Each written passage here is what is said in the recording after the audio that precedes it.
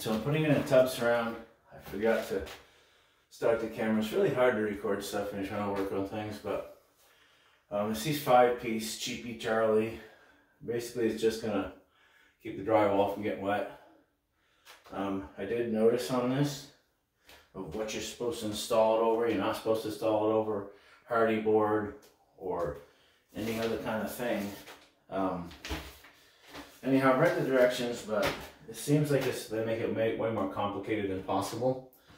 Alls I did, if you take and you place the corners here, mark the edge, both sides. Then come in here, and it should be a half an inch. There's quite a lot. There's like an there's like an inch lip there, so half, three quarters of an inch bigger. When you put that up, don't mark the whole length, but put little spots. Then measure so it goes behind it a half an inch more on both sides. Mark that a full line so you don't get confused. Measure that, cut it, glue it on there. This is ready to glue on. Oh, the glue, by the way, I use, I get this uh, Loctite Power Grab Tub, sur tub Surround, okay? It's water-based. Um, make sure you got it pretty close to where it goes because I stuck that on there and I didn't have exactly where I wanted it. It was hard to move. It's not like contact cement. You, I could have pulled it back when I'm by myself, so I just pushed the bottom where it needed to be. So this is how you go. You mark the center of the tub, center of the panel. Cut it, put a center line back there. There's a film on this too. Make sure you get the right side out. Um, you can pull the film off afterwards. I just did this. Um, I didn't want to have this to glue to over the film. I have to make I have to seal this joint. Um, center line to center line, top and bottom, so you don't have it all cattywampus. Don't worry about it getting real tight down there. Now I also did keep my drywall up, so in case some water did seep in there, you can see over there it's about a half an inch. If water did seep in it wouldn't come in contact. That's a little bit tighter, but anyhow, set that in there. Mark this edge. Head tape on it, you can see. So it's just gonna, then I made it bigger. So it goes behind this lip. Flush the front of the tub. It says within an eighth. Just make it flush, it's easier. Measure this, glue it on there. This one, last one, where the plumbing is.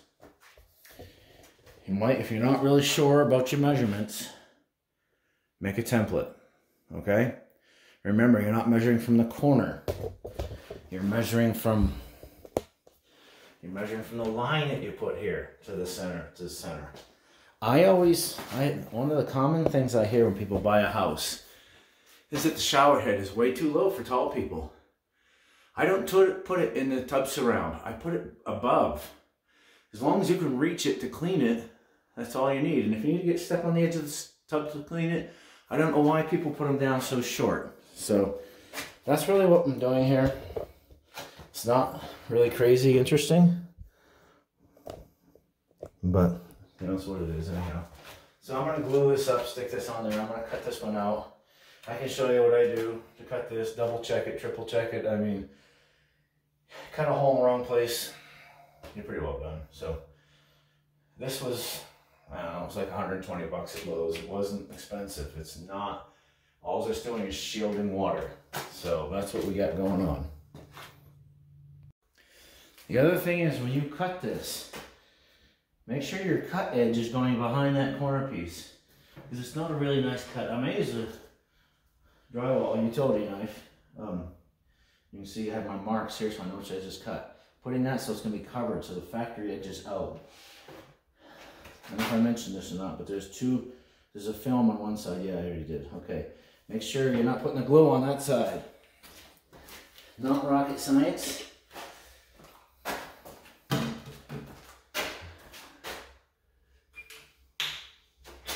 Just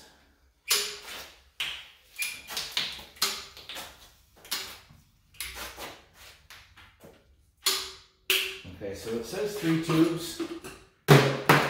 I may be putting on more than I said because that's my first tube and I got the back up with the three backs plus the sides. So, you know, I'm, gonna, I'm probably gonna put these two sides on. I'm gonna go to town and get some drywall. I'll probably pick up another. It is buckle tube, but um, I would say uh, watch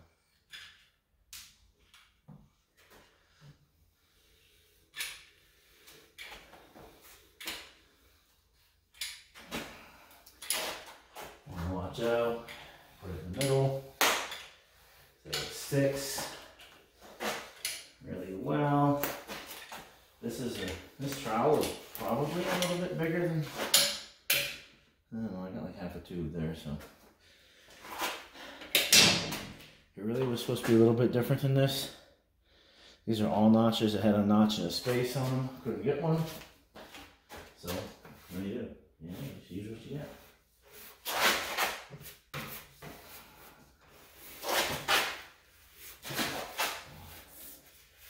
Flatten it out.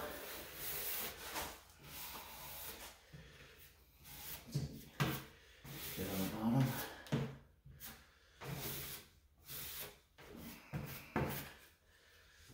Of course, in the drawing, it shows it spreading way thicker, but after putting that one up and the way it stuck, not an issue.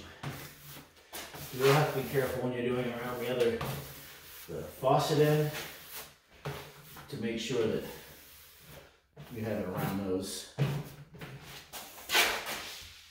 course, if I was smart, I would from that side, so I wouldn't be, you know, leaning across this. But,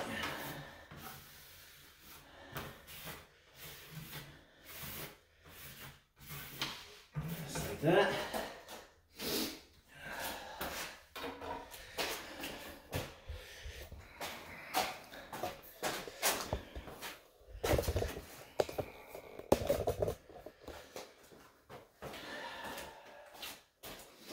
And this is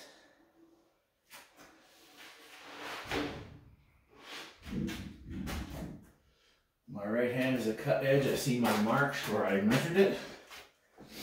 I'm gonna go a little easier this time. Getting that lined up.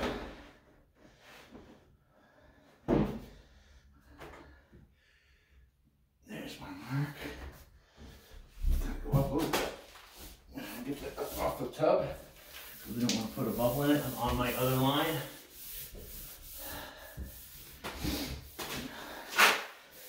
I have a roller somewhere. Would have been nice to have, but anyhow, that's it. Stick it on there.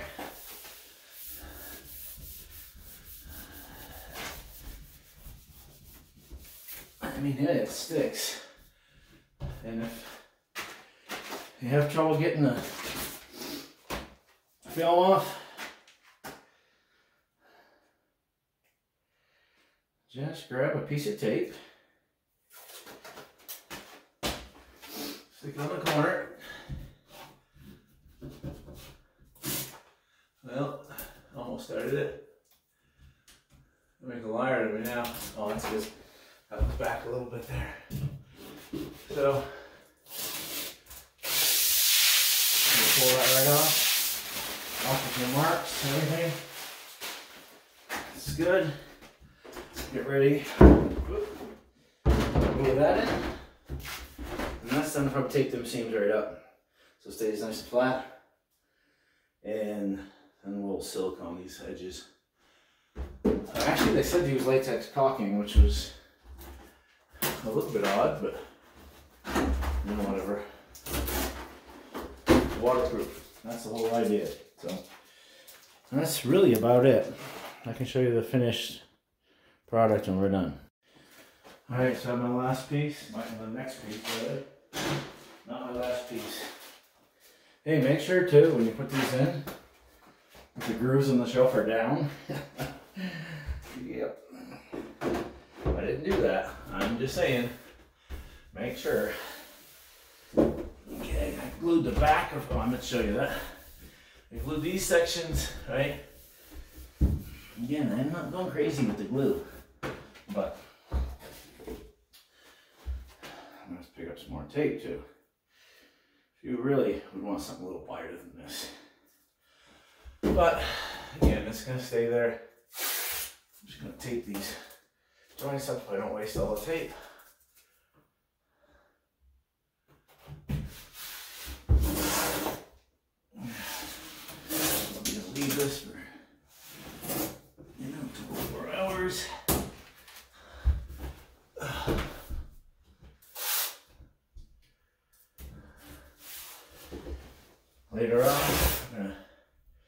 Take this off each side of that joint, put the caulking in there, pull the tape off so it's nice straight. Pull on each side, leave just a little tiny seam there. And it'll make a nice clean seam. So there we go. That's one that I already put. I have to do the plumbing one next, so we'll see how we get back to you on it. I didn't, I forgot to record this again. I drilled my holes. I used a cup saw, which can be a little dicey. Make sure there's something behind it for the pilot bit to go through so it doesn't scratch all over the place. But anyhow, I measured it out. I measured it a couple times. I measured off the line. The line here to here, not the corner. Corner doesn't do any good. The edge of your sheet goes to there. Of course, I'm going to dry fit it before I put the glue on it, but that's it. I'm to set the other corner in place like that. Let it set. Just pushing these still nice, feels good, nice and solid. And uh, voila. So um, here, I got it in and as you can see, back this out. It's a bathroom, it's kind of hard to get in there, you know. I have taped up everything that was the corner ones, that's really you know, they're not made perfect. I guess we could say that. But anyhow, I get this all done, cleaned it up. I didn't peel the the uh, coating off of this one, these corners yet. I just got them all taped up. I'm gonna let it set for a day, two, a couple days. Whatever, I got plenty other things to do. So that's the long and the short of it, putting it in. Oh, as you can see, they fit. Shower heads, good eight inches. I actually like to have it when I'm putting in a one-piece tub wide enough so my taping knife will go underneath the pipe because sometimes I put that in so I can tape around it. So that's about it. So installing sub surround.